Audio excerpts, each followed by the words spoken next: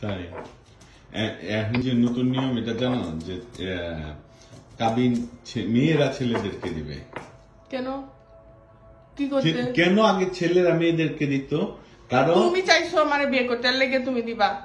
নাও তুমিও চাইছো আমার বিয়ে করতে। না।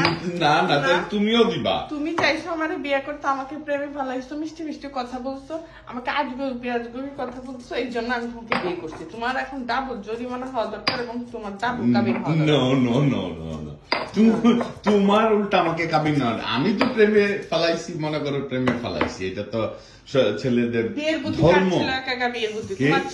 কে?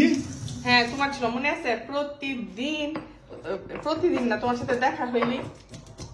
এই শুনো, তুমি আমাকে বিয়ে করবে না, আমি বুঝছি তো।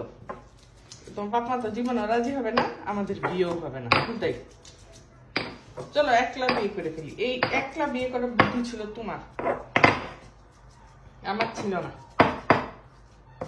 মনে নাই, ভুলে গেছো? আশিক ভাইয়া সাক্ষী। হ্যাঁ কিন্তু যে সাক্ষী হোক মানে বিয়ে করার আগ্রহ তোমারও সম পরিমাণ ছিল দেখাই তুমি বাড়ি থেকে নিজে নিজে আসছো। তার মানে এখন। ফিফটি পার্সেন্ট কাবিন তুমি বিয়েও দিবা। তুমি কাবিন দাও। আমি কেন কাবিন দিব? তোমার বিয়ে করছে আবার কাবিন দিব। তুমি কাবিন দাও। না না তুমি দিবা আমাদের কাবিন। এখন নিয়ম উল্টা হয়ে গেছে। সমতার দেশ সমতার রাজত্ব। আমি যদি খালি আমার দাদি হায়ারটা পাই তাইলে তোমার কাবিন তো দিত না। আজকের উসুল করে নিব আমি। দেখবা তুমি কি দাদানি করছ তাই? হুম। তোমার দাদি কেমনে উসুল করে নিছে? দাদি উসুল করে নিছে বলে নাই। বলছে আমি যদি আমার দাদির হায়াতটা পাই। ও। আমার দাদির বয়স চৌরাশি মাসাল্লাহ